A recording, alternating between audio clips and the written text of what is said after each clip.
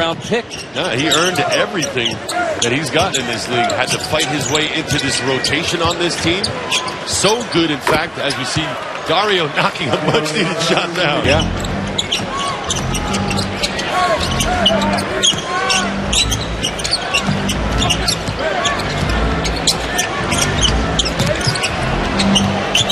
Saric drilled it. So that three, you hope, open the floodgates for 29 points.